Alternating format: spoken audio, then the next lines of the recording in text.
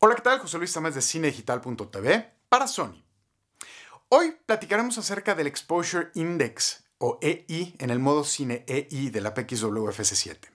La FS7, como lo hemos comentado en ocasiones anteriores, graba en un modo llamado Cine EI.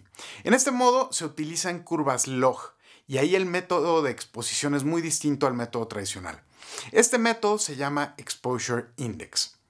La cámara en este modo Cine EI graba en un ISO nativo de 2000, pero podemos modificar la sensibilidad de la imagen al modificar el Exposure Index.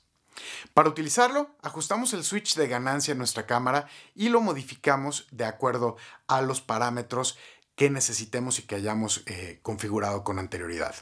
Para entender un poco mejor este concepto, tenemos que tomar en cuenta que el nivel de ruido afecta a la calidad de imagen. Al grabar con un EI menor, bajamos el nivel de ruido. El EI no cambia la sensibilidad de la cámara, sino exclusivamente afecta al LUT.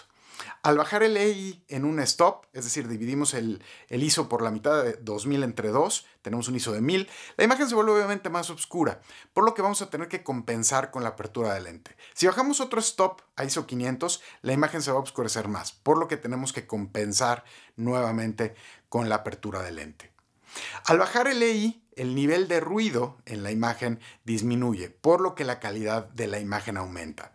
Pero hay que tener también cuidado al hacerlo y verificar no sobreexponer o subexponer la imagen, ya que en estos casos estamos acortando el rango. Para modificar los parámetros del switch de EI, lo que tenemos que hacer es entrar al menú. Seleccionamos ahí el menú Camera y damos Enter. Seleccionamos ahí la opción ISO Gain EI, presionamos Enter y ahí en la parte baja aparece EIH, EIM y EIL. Cada uno de estos corresponde a los niveles H, M y L del switch del cuerpo de la cámara. Para modificar el valor, presionamos Enter y seleccionamos entre las distintas opciones que van desde 500 EI hasta 8000 EI. Recomendamos que los parámetros se fijen en 2000 EI para High, 1000 EI para Middle y 500 EI para Low. Para más información sobre la PXWFS7, te invitamos a visitar la página de Sony Professional en sonypro-mediolatin.com. Muchas gracias. Adiós.